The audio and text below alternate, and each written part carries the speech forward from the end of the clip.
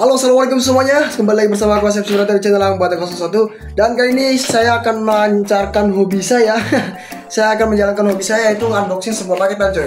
Saya baru saja kedatangan sebuah paketan yang entah kenapa ini paketannya kok bolong gitu kan. Kalau nggak aman kita langsung return saja coy. Nah ini paketannya itu paketan headset gaming coy. Kita bakalan coba dan tes headsetnya seperti apa. Eh TWS, TWS begitu cuy. Kita langsung unboxing cuy. Let's go. Dan oke teman-teman, sekarang mari kita unboxing paketanku yang sederhana ini dan kita bakalan cek dalamnya dapat apa saja gitu guys ya.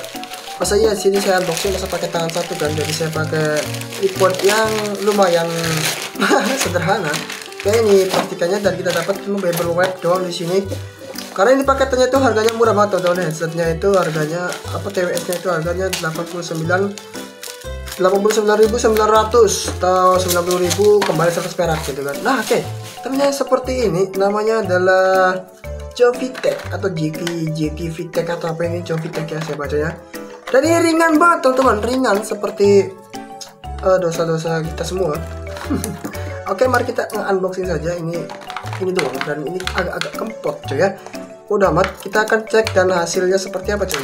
Let's go uh, bongkar terlebih dahulu karena senang banget aku ngebongkar-ngebongkar seperti ini ya. Jadi kalau ada yang nonton maupun enggak ya amat. Yang penting saya menjalankan hobi gitu guys ya itu ngebuat video cuy oke okay. ini pastikannya kita buang dulu singkirkan terlebih dahulu dari sini. Jangan sampai mengganggu personalisasi saya. Baik kita akan buka dari sebelah sini. Yo, kemasannya gini doang. Sini ada buku panduannya. Yang pakai bahasa Inggris yang entah pakai bahasa Inggris dari asal mana ini saya nggak bisa bahasa Inggris. Dan ini dari planet lain kayaknya coy. Dari Cina. Ini Cina coy. Mungkin. Jadi kita buang dulu. Dan inilah hasilnya coy. Wih oh ini terpisah bang. Ini headsetnya eh, ini apa? Kepala headsetnya. Saya sengaja beli yang pakai ini. Yang nggak pakai apa? Karetnya coy. Apa itu namanya? Seperti pil gitu kapsul kan. Saya nggak pakai yang kapsulan Oke jadi seperti ini teman-teman ya. Dapatannya itu seperti ini dan ini di luar ya. Mungkin baterainya juga habis kayaknya cuy. Dan kita apakah di sini tidak mendapatkan chargingannya gitu guys ya? Nggak ada soalnya di sini cuy. Udah nggak ada lagi isinya cuy. Bukan. Oke kita coba langsung buka ini. Apakah ada chargernya gitu guys ya? Kok kagak ada chargernya ini bang? Wis ini enak banget letaknya hmm letek. Dan ini teksturnya itu bukan doff tapi glossy teman-teman. Ini juga sudah type C kah? Bentar aku lihat dulu kita cek terlebih dahulu ini kabel Type C ku. Kita akan masukkan di sini apakah ini sudah Type C. Oke, sudah Type C berarti aman ya. Dan kita coba apakah ini masih nyala apa enggak. Maksudnya apa udah ada baterainya apa belum gitu guys ya. Sini tidak ada indikator baterainya. Menyala teman-teman, menyala ya, menyala dengan baik. Tapi nggak tahu hasilnya seperti apa. Oke, ini juga menyala dengan sempurna. dengan tutup seperti ini. Kecil sih ya. Di sini juga ada ini doang tombol ini. Tombol kan ada lubang buat type C.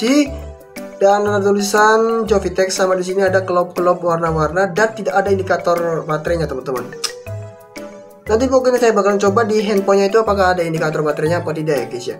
Oke sepertinya saja langsung saja kita coba coy. Coba masukin ke handphonenya. Let's it going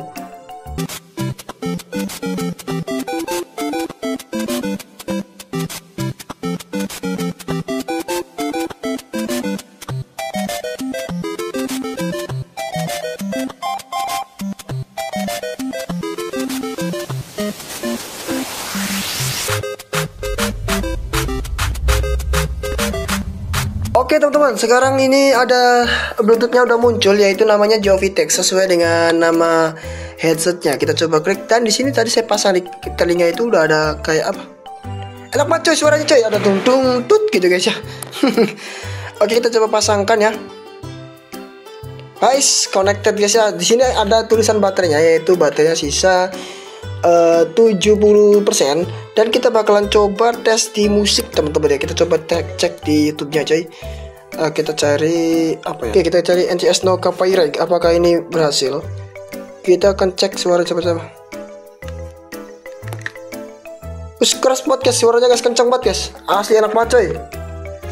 Bassnya juga mantap. Oke jangan kita ketuk di sini.